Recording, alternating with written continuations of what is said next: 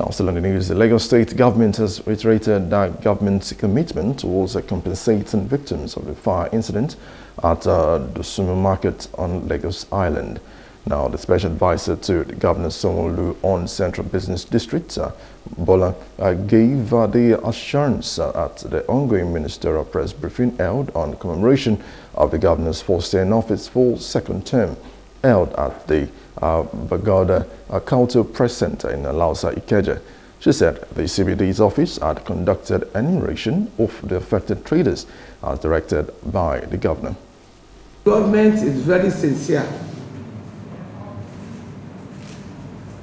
to alleviate the suffering of the traders that are affected by the infamy. So we are on it. We just begging them to have patience, to be patient with us. You know, this thing happened suddenly. Government did not prepare for it. We don't have that money at hand. So before we before we can take all those that were affected, it took us like three, four weeks before we can get them to come and do the enumeration as directed, the audit exercise as directed by Mr. Governor. So we've completed that now. So we are presenting our report to Mr. Governor for consideration by the State Exco.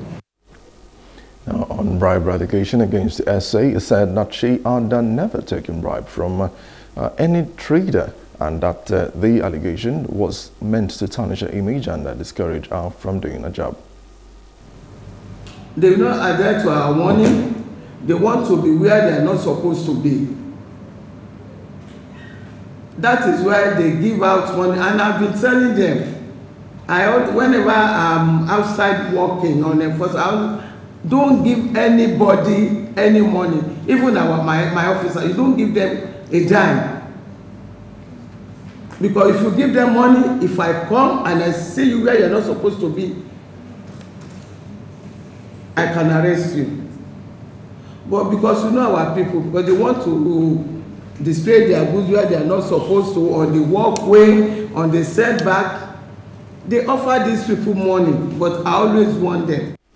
Hello. Hope you enjoyed the news. Please do subscribe to our YouTube channel and don't forget to hit the notification button so you get notified about fresh news updates.